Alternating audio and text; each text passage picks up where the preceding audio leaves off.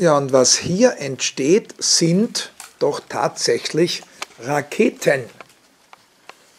Eine steht schon fast.